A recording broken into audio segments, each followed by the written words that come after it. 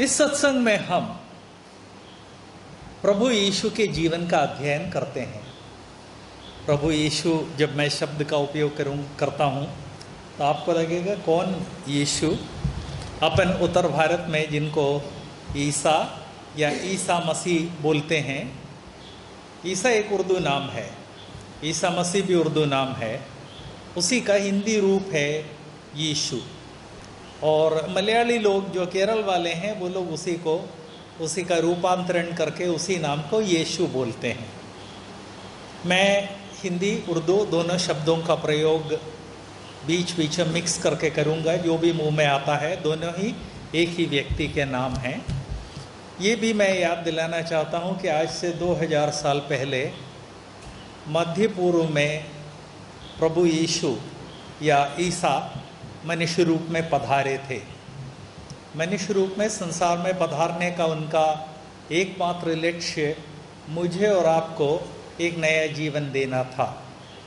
प्रभु ने इस कारण अपने जीवन में कभी कोई पुस्तक नहीं लिखी, कोई धर्म नहीं चलाया, और प्रभु ने हमेशा इस बात पर ज़ोर दिया, मैं इसलिए इस संसार में आया हूँ कि जो मेरे अनुयायी हैं, उनको जीवन मिले और वो जीवन बहुत आयत से मिले, ये था प्रभु के कहने का मतलब।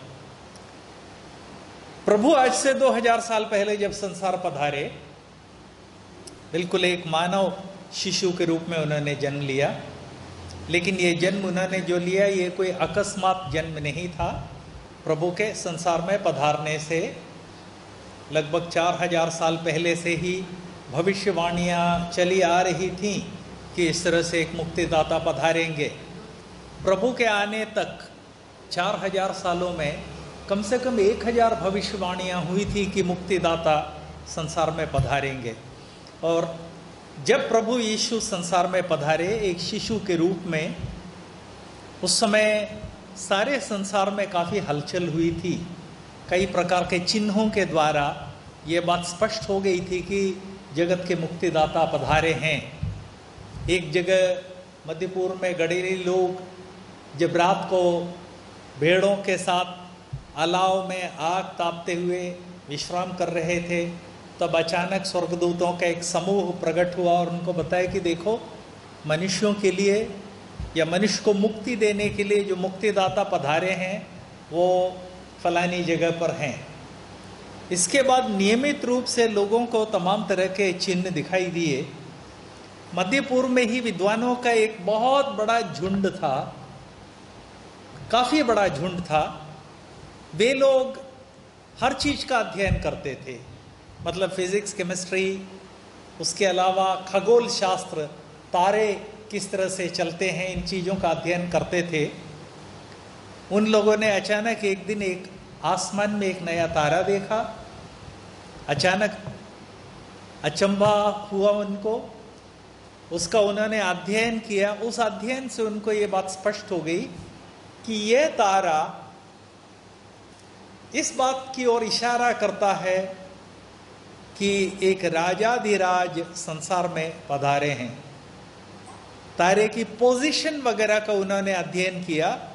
तो उससे उनको ये बात स्पष्ट हो गई कि जो राजाधिराज संसार में पधारे हैं, वे यहूदियों के देश में पधारे हैं, और इसलिए तुरंत उन्होंने क्या किया कि सारा माल, असबाब सब बाँध बूंद के, ऐसा अनुमान है कि 30-40 लोग थे, और यदि 30-40 विद्वान रहे होंगे तो कम से कम 50 से 100 के बीच में ऊँट उनके साथ रहे होंगे। जिनके ऊपर पानी, खाना और ज़रूरत की सारी उनकी जो किताबें वगैरह है, वो सब पैक करके वो लोग चल दिए। कहाँ चल दिए? इस राजा राजाधिराज के दर्शन के लिए।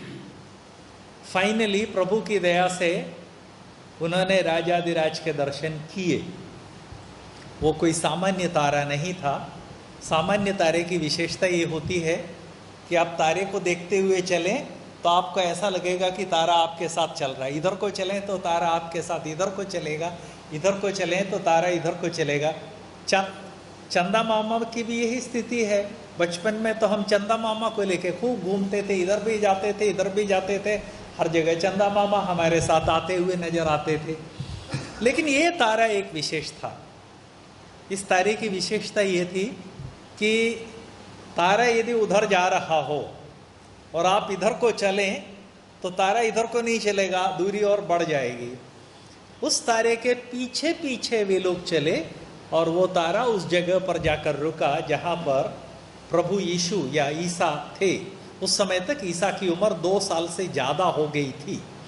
वहाँ जाकर उन्होंने बालक का दर्शन किया, और दर्शन करने के बाद पिछले हफ़्ते मैंने आपको याद दिलाया था, राजाधिराज लोगों को जो जो पारितोषिक या जो इनाम दिया है, जो भेंट दिया जाता है, सोना, कौन सा सोना? सबसे प्योर सोना है, जिसको अपन हिंदी में कुंदन बोलते हैं। उसके अलावा लोहबान, जो कि सिर्फ़ राजाधिराजों को उस समय दिया जाता था, और गंदरस जो कि सिर्फ़ राजाधिराज को दिया जाता था। साष्टांग गिर कर उन्होंने बालक यीशु को प्रणाम किए यह सब दिया। प्रभु ईसा की माताश्री को ये बात मालूम थी कि ये एक दिव्य बालक है। पिताश्री भी इस बात को जानते थे कि एक दिव्य बालक है और जब इस तरह से विद्वानों का काफिला आया, साष्टांग ज़मीन पर लेटकर उन्होंने जब प्रभु की स्तुति, आराधना की और प्रभु को ये सब भेंट चढ़ाए तो ये और कंफर्म हो गया कि प्रभु ने और लोगों को भी ये जानकारी दी है कि ये राजाधिराज है। प्रभु तीस साल तक अपने माँ बाप के साथ रहे। बिल्कुल जिस तरह से सामान्य एक व्यक्ति अपने माँ बाप के साथ रहता है, इस बीच कई बार उन्होंने इस बात के लक्षण दिखाए कि वे एक सामान्य व्यक्ति नहीं है। तीस साल की उम्र में जब उनको समझ में आ गया कि अब मेरा सेवा काल आरंभ हो गया है तो प्रभु माँ बाप से विदा लेकर चल दिए सेवा काल के लिए। चलते में प्रभु ने बहुत सारे काम किए, जिसका इतिहास कम से कम चार लोगों ने डिटेल में लिखकर हमको दिया है। जब इस इतिहास को और उसके अलावा अन्य जगह पर भी जो इतिहास मिलता है उसको देखते हैं, तब उससे हमको ये बात पता चलती है कि प्रभु ने अपने लिए बारह खास चेले चुन लिए थे। ये बारह अलग अलग पेशे के लोग थे। एक टैक्स ऑफिसर था तो दूसरा फिलोसोफर था इस तरह से बारह लोग प्रभु ने अपने साथ कर लिए और प्रभु जहाँ भी जाते थे, ये बारह लोग प्रभु के साथ हर जगह जाते थे। साढ़े तीन साल प्रभु ने बिना विश्राम किए घूम घूम कर लोगों को ये संदेश दिया कि मनुष्य के लिए जीवन में मुक्ति ज़रूरी है। मुक्ति का क्या मतलब है, ये भी मैं जरा स्पष्ट कर दूँ। प्रभु ने स्वयं कहा, पिछले हफ़्ते हमने जिस पुस्तक का अध्ययन किया था, उस पुस्तक के तीसरे अध्याय को जब हम देखते हैं, उसमें प्रभु ने स्पष्ट ये बात कही कि देखो, जिसने भी इस संसार में जन्म लिया है, आत्मिक रूप से मृत्यु का अनुभव वो करता है। इसी कारण हम में से यदि किसी से पूछा जाए कि भैया, इस संसार को, जब संसार में तुम्हारा जीवन खत्म हो जाएगा उसके बाद जाओगे, कहाँ जाओगे? ज़्यादातर लोगों का जवाब एकदम से होता है, कहाँ जाएँगे, क्या मालूम? मैं कभी नहीं भूल सकता, जब मैं बीएससी फ़र्स्ट ईयर में पढ़ता था तो घर से लगभग छः किलोमीटर दूर कॉलेज था, साइकिल से जाते थे हम लोग।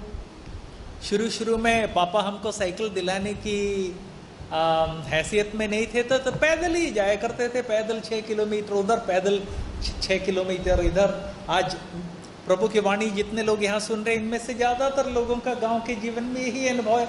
छः आठ किलोमीटर तो अपन बड़े आराम से वैसे भी हाट देहात वगैरह में जाने के लिए चलते हैं। एक बार हमारे कॉलेज के पास एक बाबा जी पधारे जिनके बारे में इसके पहले भी मैं आपको बता चुका हूँ। काफ़ी भीड़ जमा थी। मैं भी गया, मैं तो हर चीज़ में डबल उत्सुक था। गए तो देखा एक बाबा जी बैठे हुए हैं, चारों तरफ़ जनता घेरी हुई है। बाबा जी ने अपना जो दहना हाथ है, वो यूँ उठा के रखा है। दहना हाथ यूँ उठा के रखा हो तो उसमें कौन बड़ी बात है? ध्यान से देखा तो पता चला कि वो दहना हाथ उन्होंने जो यूँ उठा के रखा है, वो सूख कर लकड़ी के समान हो चुका है। बाबा जी अब चाहे तो अभी उसको हिला नहीं सकते। तो ये बात पता चल गई कि बाबा जी ने सालों से बहुत भयानक, कठोर तप किया है और इस तपस्या के कारण उनका हाथ जो है लकड़ी के काठ या काठ के समान जम कर बिल्कुल बेकार हो चुका है। हम में से कोई भी व्यक्ति इतनी कठिन तपस्या नहीं कर सकता है। मैं तो देख के हैरान हो गया। जिज्ञासा के कारण मैंने पूछा कि बाबा जी कितने साल से कर रहे हैं? तो उन्होंने बताया, ये मैं जो आपको घटना सुना रहा हूँ, ये पचास साल पहले की बात है। उन्होंने बताया, शायद 10-12 साल से उन्होंने अपने हाथ को यूँ रखा था और 10-12 साल में वो हाथ जो है बेकार हो गया। मैंने उनसे पूछा बाबा जी ये 10-12 साल से आप जो ये भयानक कठोर तपस्या कर रहे हैं ये किसके लिए कर रहे हैं? तो बाबा जी का जवाब था बच्चा चा, चाहो तो तुम मान लो कि तुम अपने मैं तुम्हारे लिए कर रहा हूँ चाहो तो मान लो कि मैं अपने लिए कर रहा हूँ। भाई देखिए मैं तो साइंस का विद्यार्थी था हर चीज़ का एक निश्चित उत्तर सुनने की एक जिज्ञासा मन में है। यदि किसी से पूछा जाए कि भाई ये जो चाय का कप है, इसको हाथ में लेके यदि मैं हाथ छोड़ दूँ तो कप का क्या होगा? और यदि मेरे अध्यापक हैं, कप का क्या होगा? क्या मालूम? चाहे तो ऊपर चला जाए, चाहे तो नीचे। तब उस अध्यापक से थोड़ी फिर मैं फिजिक्स पढ़ूँगा, जो इस तरह का उठ पटांग जवाब देता है।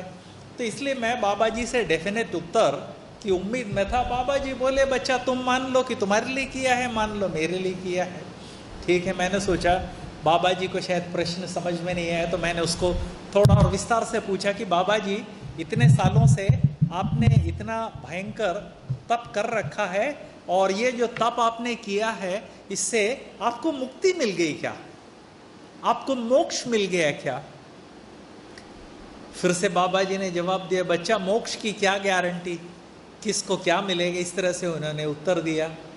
उस दिन मैं बहुत ताजुब के साथ क्लास में गया कि एक स्वस्थ व्यक्ति पिछले दस या बारह साल से इतना कठिन तप कर रहा है, लेकिन उसको इस बात की गारंटी नहीं है कि उससे मुझे कोई फ़ायदा मिलेगा, उनको कोई फ़ायदा मिलेगा, या उनके जीवन में उनको मोक्ष मिलेगा या नहीं।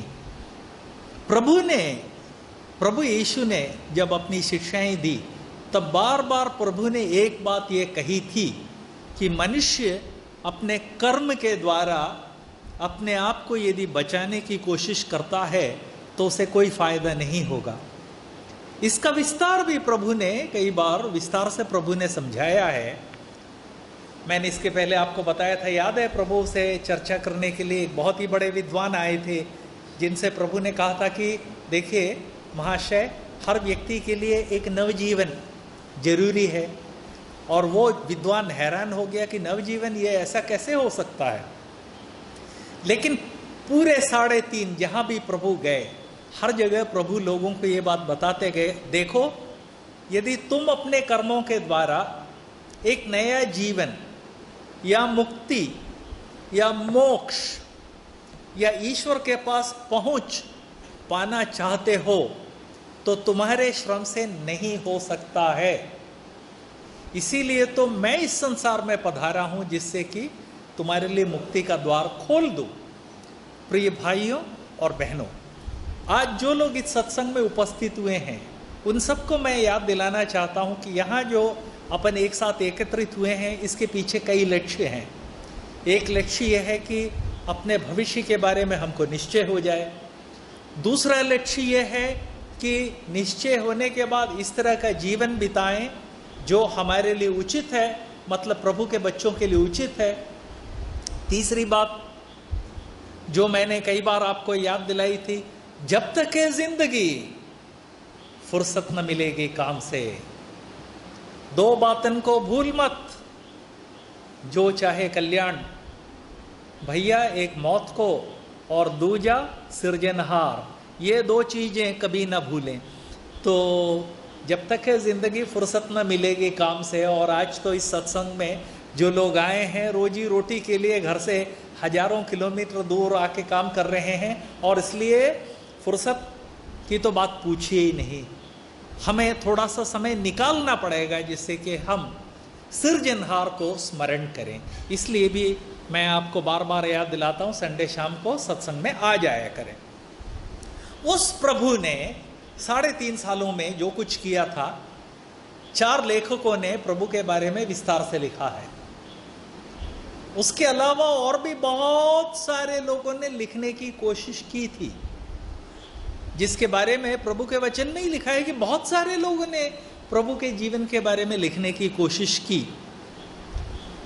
बहुत अद्भुत है ये साढ़े तीन साल प्रभु के जो हैं, उसके बारे में प्रभु के एक अनुयायी का कहना है कि प्रभु ने जो कुछ साढ़े तीन सालों में किया, यदि उसमें से हर बात को विस्तार से लिखने की कोशिश करें तो इतनी किताबें लिखनी पड़ेंगी कि सारी दुनिया भी उन किताबों से भर जाए। लेकिन इन चार लोगों ने क्या किया कि सेलेक्टेड बातें हमको बताई, जिसमें से एक बात आज मैं आपको बताना चाहता हूँ। प्रभु की जीवनी जिन चार लोगों ने लिखी थी मैं इसके पहले भी आपको बता चुका हूँ, पहले का नाम था मत्ती। उस जमाने में ऐसे ही नाम चलते थे। दूसरे का नाम था मरकुस। तीसरे का नाम था लूका। चौथे का नाम था योहन्ना। योहन्ना तो बड़ा बुद्धिजीवी था। उस समय ग्रीक फिलॉसफी का बड़ा प्रचलन था और योहन्ना ग्रीक फिलॉसफी का ज्ञाता था। उन्होंने जो ग्रंथ लिखा है जो बाइबल के उत्तरार्ध में चौथा ग्रंथ है उसके छठे अध्याय में हम इस तरह से पढ़ते हैं। यूहन्ना छठे अध्याय में शुरू से मैं आपको पढ़ के सुनाता हूँ। उतना पर्याप्त होगा। इस बीच में इधर उधर किताब खोलने के आ, मतलब ध्यान ना बढ़ जाए इस कारण जिन्हें ये पुस्तकें खोलने का अनुभव नहीं वो मेरी मैं जो पढ़ के सुना रहा हूँ सुन लीजिए।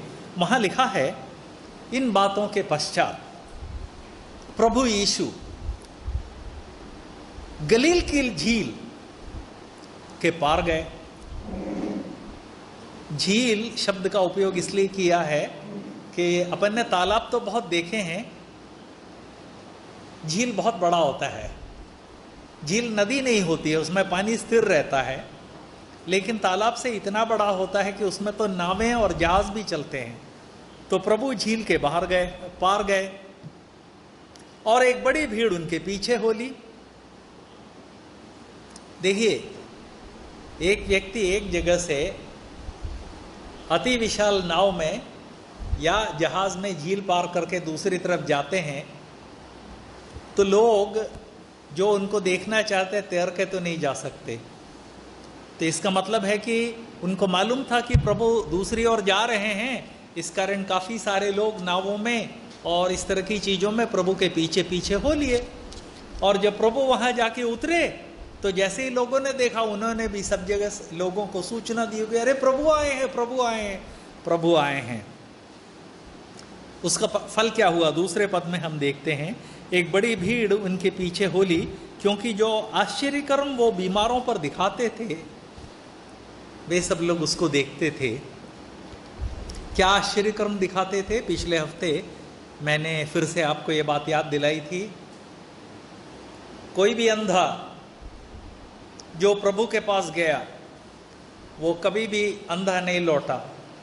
कोई भी लंगड़ा जो प्रभु के पास गया, वो लंगड़ाते हुए नहीं गया, वापस नहीं गया।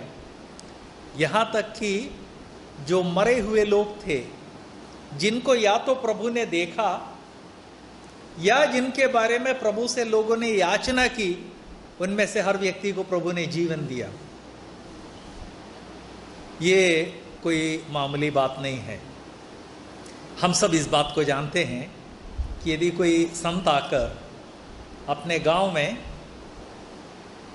किसी मुर्दे को जीवित कर दें तो बिजली के समान ये खबर जो है, आसपास के सारे गाँव में फैल जाएगी। और फिर सब लोग जो है मुर्दों को प्रभु के पास लाने लगेंगे। तो यदि प्रभु के बारे में इस तरह से खबर फैल गई तो उसमें कोई ताजुब की बात नहीं। अपन सब जानते हैं गाँव में यदि कोई भी विशेष बात होती है, सारे गाँव में खबर फैल जाती है। तो प्रभु झील के पार आए और ऐसी जनता उनके ऊपर टूट पड़ी कि कुछ पूछे मत। तीसरे पद में हम देखते हैं, प्रभु यीशु पहाड़ पर चढ़कर अपने चेलों के साथ वहाँ बैठ गए। पहाड़ पर क्यों बैठ गए, ये भी मैं आपको याद दिलाना चाहता हूँ। दुर्भाग्य से हम सब, मैं और आप 21वीं शताब्दी में जी रहे हैं, जहाँ लाउडस्पीकर वगैरह का उपयोग इतना ज़्यादा हो गया है कि बिना लाउडस्पीकर के लोगों को बोलते हुए अपन ने नहीं सुना है। लेकिन मेरी उम्र अब इतनी हो गई है कि मैंने सुना है मेरे बचपन में, यदि दो चार गाँव के लोगों को कोई खबर देनी होती थी तो सुबह सुबह चार बजे, क्योंकि गाँव में सब लोग चार बजे के आसपास उठ जाते हैं, चार बजे के आसपास गाँव में जो ऊँचे से ऊँचा पेड़ मिल सकता है, उस पर दो जने चढ़ जाते थे। एक जो खबर देना चाहता था। दो, जिसकी आवाज़ इतनी भारी होती थी कि इवन शेर उस आवाज़ को सुनकर डर जाए। ऐसा होता था। मैंने सुना है, मैंने अपने बचपन में देखा है। पहला आदमी संदेश देता था, गाँव वाले प्रिय भाई और बहनों तो दूसरा जिसकी आवाज़ बहुत भारी होती थी, वो अपने फुल वॉल्यूम से गाँव के सारे भाई और बहनों बोलता था, सुबह चार बजे आसपास के चार छह गाँव में आवाज़ पहुँच जाती थी। खासकर 40 40 50 50 फुट ऊँचे पेड़ों पर से जब वे लोग डिक्लेयर करते थे। मैंने खुद अपनी आँखों से सुना है, मेरे दादाजी इसमें बहुत एक्सपर्ट थे दादाजी की आवाज़ तो इतनी ज़ोर की थी कि मुर्दे भी उठ के भाग जाए। तो वो इस काम के लिए जाते थे। वो था पुराने जमाने का लाउड स्पीकर प्रभु जिस इलाके में थे, उस इलाके में ऊँचे पेड़, इतने ऊँचे पेड़ नहीं होते थे तो उनका तरीका और था। ऊँची पहाड़िया पे खड़े हो जाते थे और ऊँची पहाड़िया पे खड़े होकर यदि आपकी खुद की आवाज़ यदि ज़ोर की है तो आप ज़ोर से बोलेंगे तो पहाड़िया से आवाज़ दूर दूर तक जाती है। आपने सुना होगा ऊँचे पहाड़ पे यदि ज़ोर से, कौन है? बोलो। तो कौन है कौन है कौन है? एको प्रतिध्वनि आती है। दूर जाके आवाज़ वापस आती है। तो ऐसे पहाड़ पे चढ़ के बोलते थे। तो प्रभु पहाड़िया पे चढ़ गए, क्योंकि प्रभु को अनुमान था कि आज तो जनता टूटने वाली है। ऐसा ही हुआ। पाँचवें पद में मैं पढ़ के सुनाता हूँ, जब प्रभु ने अपनी आँखें उठाकर एक बड़ी भीड़ को अपने पास आते देखा तो अपने शिष्य फिलिपुस से कहा, इनके भोजन के लिए रोटी कहाँ से मोल लाए? ये भोजन की क्या फ़िक्र हो गई? इसके पीछे भी एक रहस्य था। उस जमाने में, आज से 2000 साल पहले, जब कोई भीड़ सब कुछ छोड़ के किसी महान व्यक्ति के पीछे हो लेती थी तो सुबह से शाम तक बैठकर उस व्यक्ति का प्रवचन सुनते थे। तो प्रभु को इस बात की गारंटी थी कि अब तो ये लोग दिन भर बैठ के प्रवचन सुनेंगे, इनके लिए कुछ खान पान का भी तो इंतज़ाम करना पड़ेगा। पानी की तो समस्या नहीं थी, क्यों? झील बगल में है। खाना। तो प्रभु ने अपने प्रिय शिष्य को बुला के कहा, खिलाओ इनको खाना। तो वो धक रह गया, वो बोला कि प्रभु, आप कैसी बात करते हैं? 200 दीनार यदि हो तो उसमें जरा जरा सा खाना मिल पाएगा एक एक व्यक्ति को जरा जरा सा कौर मिल पाएगा। सवाल यह है 200 दीनार की बात उसने क्यों कही? इसके पीछे एक रहस्य है। उस जमाने में एक व्यक्ति साल भर यदि उसको नौकरी मिले मजदूरी मजदूरी करते थे, उस समय ऑफ़िस कहाँ होते थे? यदि एक व्यक्ति को साल भर यदि मजदूरी मिले तो साल भर उसको जो तनख्वाह मिलती थी, वो 200 दीनार होता था। तो उसके कहने का मतलब था, प्रभु, आप क्या कह रहे हैं? यदि एक हट्टे कट्टे मजदूर की, साल भर की मजदूरी यदि मेरे हाथ में रख दिया जाए और उससे यदि मैं खाना खरीद के लाऊं तो लोगों के मुँह में एक एक कौर खाना जा पाए ऊँट के मुँह में जीरा। और आप कह रहे हैं कि इनको खाना खिलाया जाए। देखिए प्रभु के मन में एक योजना थी। और इसीलिए प्रभु ने फिलिपुस से पूछा उन्होंने कहा कि अच्छा ठीक है कोई बात नहीं। आ, ये तो बताओ कि तुम लोगों के पास कुछ और है क्या खान पान के लिए? इस घटना को अन्य लोगों ने भी इस घटना का वर्णन किया है, जब हम उन सब की तुलना करते हैं तो प्रभु ने कहा अच्छा भाई, एक आदमी के साल भर की यदि मजदूरी से भी कुछ नहीं हो पाएगा, कम से कम ये तो बताओ कि ये जो जनता टूटी पड़ है, टूट पड़ रही है, इनमें से किसी के पास खाने के लिए कुछ है क्या? उन लोगों ने ढूंढ ढूंढ के बताया कि, हे प्रभु, कुल मिलाकर एक बालक है जिसके पास पाँच रोटी है और दो मछली है। यहूदी लोग मांसाहारी होते थे और ये झील से खूब मछलियाँ मिल जाती थी तो वो रोटी मछली का सेवन करते थे। एक बालक के पास जरा इस बात इस बात को जरा ध्यान दें।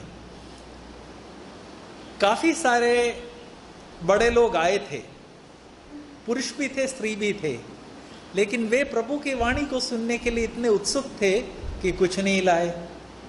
एक बालक जो प्रभु की वाणी सुनना चाहता था, उसकी माता श्री ने उसको पाँच रोटी और दो मछली दे दी थी, वो उसको लाद कर ले गया था। रोटी से वो अपनी जो पतली वाली जो सूखी रोटी है, वो नहीं। इस, ये मध्य पूर्व में जो रोटियाँ होती थी, आप बन जानते हैं, बन की मोटाई और रुमाली रोटी के समान साइज़ होता था। ऐसे पाँच रोटी वो जो है अपने साथ लाया। फिलिप ने कहा कि प्रभु, इसका क्या होगा? प्रभु ने कहा कि ठीक है, जो भी है तुम लाओ तो मेरे पास। तो ये रोटी प्रभु के पास लाए। अब प्रभु ने कहा, सबको बैठने को बोलो। प्रभु के एक और शिष्य वहाँ पे आए थे, जिसका नाम था अंद्रियास। उनसे आज्ञा दी कि चलो वो रोटी ले आओ, सबको बैठने को बोलो। बैठा दिया पचास पचास की लाइन में। पचास पचास की लाइनों में उनको पंक्तियों में जिस तरह से अपन शादी के लिए बैठते, बैठाया तो पता चला कि सिर्फ़ पुरुष ही पुरुष, बच्चे नहीं, स्त्रियाँ नहीं, सिर्फ़ पुरुष ही पुरुष, पाँच हज़ार के लोग थे। अपन जानते हैं कि धार्मिक जो भी सत्संग है, वहाँ स्त्रियों की संख्या पुरुषों से ज़्यादा होती है। बच्चे अलग। तो अनुमान है कि ये जो पाँच हज़ार पुरुष थे, इसके अलावा कम से कम पाँच हज़ार स्त्रियाँ रही होगी। दस हज़ार के लोग। दस हज़ार लोग, पाँच रोटियाँ। क्या करते? चेले यो असमंजस में थे। प्रभु ने क्यों बैठाया? प्रभु तो संसार के सृष्टा हैं। उन्होंने रोटी ली। रोटी के लिए प्रार्थना की। तोड़ तोड़ कर शिष्यों को देते गए कि, तोड़ा क्यों रोटी को? फाड़ा क्यों नहीं? जैसा मैंने कहा, वो लोग जो रोटी बनाते थे, वो काफ़ी मोटी रोटी होती थी। तोड़ तोड़ कर शिष्यों को देते गए, बोला, बांटो। कुछ समझ में नहीं आया शिष्यों को, लेकिन प्रभु की आज्ञा थी। बांटते गए बांटते गए बांटते गए। वो जो दस हज़ार से ऊपर जो लोग थे, पुरुष और स्त्री मिलाकर, सिर्फ़ पुरुष मिलाकर जो पाँच हज़ार लोग थे, पाँच हज़ार लोगों को पर्याप्त तो भोजन मिल गया। सब लोगों ने छक कर खाया। प्रभु ने कहा कि देखो, बांटने के बाद रोटियाँ बची होंगी जूठे भोजन की बात नहीं हो रही। जो जहाँ भी इस तरह का काम होता है, वहाँ आप जानते हैं, वॉलेंटियर्स काफ़ी लोग खड़े हो जाते हैं। तो लोग खा रहे हैं वॉल्टियर्स हाथों में रोटी लेके खड़े हैं कि भैया हाँ रोटी खाली क्या? ये लो और है। जब सब लोगों ने खा ली तो वॉल्टियर्स के हाथ में जो रोटी थी, उसके बारे में प्रभु ने एक और आज्ञा दी। और वो आज्ञा ये थी, जब वे खाना खाकर तृप्त हो गए मतलब छक कर उन्होंने खाना खाया, फिर क्या हुआ? प्रभु ने कहा, बचे हुए टुकड़े बटोर लो, जिससे कि खाना फेंका ना जाए। ये जूठे खाने की बात नहीं हो रही। वो वॉल्टियर्स हाथों में जो रोटी के टुकड़े लिए खड़े थे लोगों को देने के लिए, बटोर लो, फेंकना नहीं, भोजन फेंका ना जाए, ये प्रभु की आज्ञा थी। ठीक है, उन्होंने भोजन इकट्ठा कर लिया। बारह टोकरी भोजन बच गया। कहाँ पाँच रोटियाँ थी और कहाँ पाँच हज़ार पुरुषों ने और उससे ज़्यादा स्त्रियों ने भोजन कर लिया और उसके बाद बारह टोकरी रोटियाँ बच गए टोकरी तो लोगों के पास थी। गाँव में कहीं भी जाते हैं, आजकल तो फ़ैशन थैले का हो गया है, लेकिन मुझे कम से कम अपने बचपन की याद है कि लोग हाट में या बाज़ार में जाते थे, माल खरीदना हो या ना खरीदना हो, टोकरी ज़रूर साथ में चलती थी। तो टोकरी भर के उन्होंने भोजन लिया, ठीक है? इसे देखकर लोगों ने एक बात कही, जो अपन आगे देखते हैं चौदहवें पद में। उन्होंने जो अद्भुत कार्य दिखाए, उसे लोग देख, उसे देखकर लोग कहने लगे कि जिस व्यक्ति के बारे में भविष्यवाणी हुई थी, जो भविष्य वक्ता आने वाले हैं, वो यही हैं। प्रभु ने ये कार्य क्यों किया? इसके पीछे कारण है। जैसा मैंने आपको बताया, प्रभु इस संसार में किसी धर्म की स्थापना के लिए नहीं आए थे। प्रभु इस संसार में एक उद्देश्य से आए थे, एक उद्देश्य के साथ आए थे, मनुष्य को मुक्ति दिलाया जाए।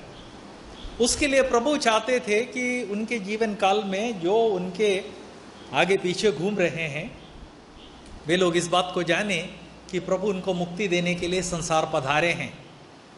और जब एक बार वो इस बात को जान लें कि उनको मुक्ति देने के लिए प्रभु संसार में पधारे हैं तो प्रभु के पास जाकर प्रभु का अपना मुक्तिदाता मानकर मुक्ति पालें। इसलिए प्रभु ने यह अद्भुत कार्य दिखाया था। और उसका रिज़ल्ट क्या हुआ? रिज़ल्ट जब अन्य जो चार लोगों ने, इसके अलावा तीन लोगों ने प्रभु की जो जीवनी लिखी है, उसमें से जिस, जहाँ भी ये कथा मिलती है, उसको जब अपन पढ़ते हैं तो उससे ये बात पता चलती है कि बहुत सारे लोगों ने उस दिन प्रभु को मुक्तिदाता ग्रहण कर लिया। फिर तो लोग प्रभु के पीछे चलने लगे।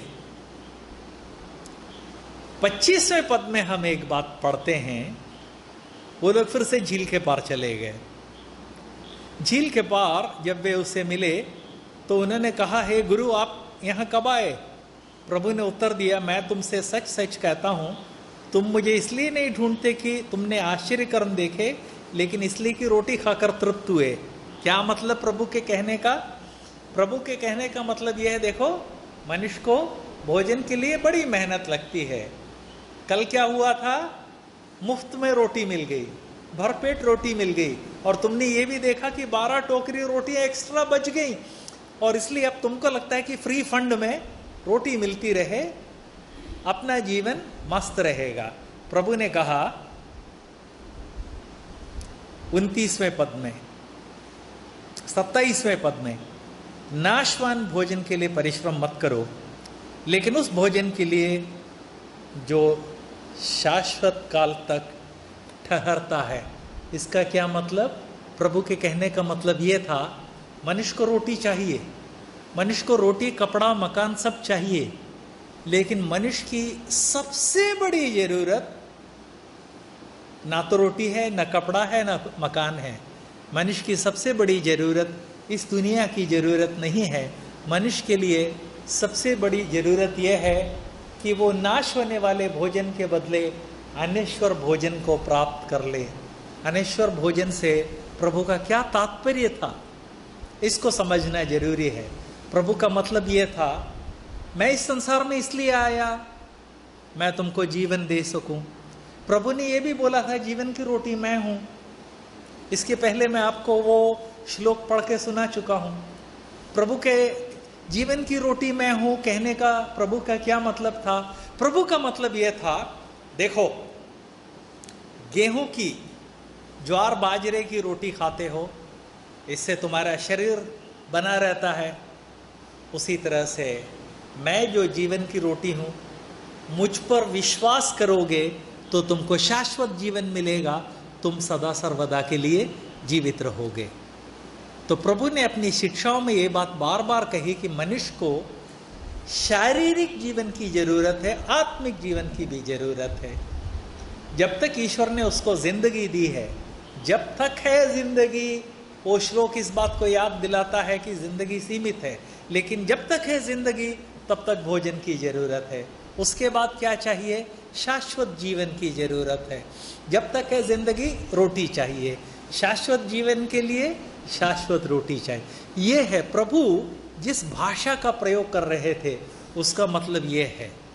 आज शाम को इसलिए मैं यहाँ जितने भाई और बहन उपस्थित हैं, उनको दो बातें याद दिलाना चाहता हूँ। प्रिय भाई, प्रिय बहन, जिसने, जिस व्यक्ति ने इस संसार की सृष्टि की है, वो आपके जीवन में आपको रोटी, कपड़ा, मकान दे सकते हैं, देंगे। यदि आप उन पर आसरा रखें, आश्रय करने वालों को प्रभु उनकी ज़रूरत के अनुसार देते हैं। आज संध्या को अपने गाँव, अपने परिवार वगैरह को छोड़कर हज़ारों किलोमीटर दूर जो भाई और बहन यहाँ बैठे हैं, उनको मैं याद दिला दूँ, प्रिय भाई, प्रिय बहन, आपकी क्या ज़रूरत है मैं नहीं जानता। और यदि मैं जान भी जाऊँ, मैं भी आपके समान एक नश्वर और सीमित मनुष्य हूँ। आपकी ज़रूरतें मैं पूरी नहीं कर सकता। लेकिन संसार के सृजनहार, आप, आपसे बार बार आपको ये याद दिलाते हैं, मेरे पास आओ। बच्चे, तुम्हारी क्या ज़रूरत है मुझे बताओ। मैं तुम्हारी मदद करूँगा। इस कारण आज प्रभु की वाणी जो भाई और बहनें सुन रहे हैं, आपके जीवन में जो ज़रूरत है नौकरी की ज़रूरत है, स्वास्थ्य की ज़रूरत है, आपको गाँव में आपका जो परिवार है उसके मदद की ज़रूरत है, भविष्य के लिए मकान बनाने की ज़रूरत है, अपनी सारी ज़रूरतें प्रभु के हाथ में दे दीजिए। जब समय आएगा, तब प्रभु आपकी मदद करेंगे। सिर्फ़ पाँच रोटी को देख के, अरे, पाँच का क्या होगा? ये सोचने के बदले प्रभु के सामने रखिए। जब समय आएगा, तब प्रभु आपकी मदद करेंगे। ये है पहली बात जो प्रभु के वचन से हम आज देखते हैं। दूसरी बात जो प्रभु के वचन से देखते हैं, वो ये है, हमें प्रभु के पीछे सिर्फ़ अपनी शारीरिक ज़रूरतों के लिए नहीं, बल्कि आत्मिक ज़रूरतों के लिए भी जाना है। आत्मिक ज़रूरत? जी हाँ। कल क्या होगा? आया है सो जाएगा। राजा हो, रंक हो, फकीर हो कहाँ जाएँगे? इसका निश्चय आज हमको करना है। कहाँ जाएँगे? उसका निश्चय करने के लिए पहली बात यह याद रखना ज़रूरी है कि जो भी आया है उसे जाना होगा। नंबर दो जाने से पहले प्रभु याद दिलाते हैं बच्चे मेरे पास आ, आओ। मैंने तुम्हारे लिए अपना जीवन सूली पर कुर्बान किया है। मैंने तुम्हारे लिए अपना बलिदान दिया है। और इस कारण मेरे पास आकर ये मान लो कि तुम पापी हो, तुमको पाप क्षमा की ज़रूरत है। ये मान लो कि मैंने तुम्हारे पापों के लिए सूली पर अपना जीवन दिया है, मुझे अपना मुक्तिदाता मान लो। और जब इस तरह से मुझे अपना मुक्तिदाता मान लोगे तो तुमको मैं वो जीवन दूँगा जो शाश्वत है, जो कभी तुमसे लिया नहीं जाएगा। जैसा मैं बार बार यहाँ याद दिला चुका हूँ, आज से साठ साल पहले मैंने इस बात को पहचाना वहीं घुटने टेक कर प्रभु को मुक्तिदाता के रूप में ग्रहण किया और तब प्रभु ने मुझे जो शाश्वत दी, जीवन दिया और शाश्वत जीवन की खुशी दी, वो आज भी मेरे साथ है। आज संध्या को जो लोग प्रभु की वाणी सुन रहे हैं, उन सभी भाइयों और बहनों को मैं ये दो बातें याद दिलाकर आज का ये जो प्रवचन है, इसे क्लोज करना चाहता हूँ। प्रिय भाई, प्रिय बहन, आपकी ज़रूरतें शायद एक होंगी या अनेक होंगी सृष्टिकर्ता के हाथ में अपनी ज़रूरतें सौंप दीजिए, प्रभु आपकी मदद करेंगे। नंबर दो, यदि आपने आज तक प्रभु को मुक्तिदाता के रूप में ग्रहण नहीं किया है तो आज वो मौका है। इस सभा के बाद हम में से किसी से बात कीजिए, हम ये बात आपको और विस्तार से समझाएँगे। हाँ क्लोजिंग में एक बात मैं फिर से बता दूँ। मैं पचास बार ये बात बता चुका हूँ पाँच सौ बार बताऊँ तो अभी मैं नहीं थकूँगा। क्या बात? जब तक है ज़िंदगी, फुर्सत न मिलेगी काम से। इस कारण हर संडे थोड़ा सा समय निकालकर सत्संग के लिए आ जाया करें, जिससे कि आत्मिक जीवन में खुशी बनी रहे। प्रभु, आप सबको अपना अनुग्रह दें।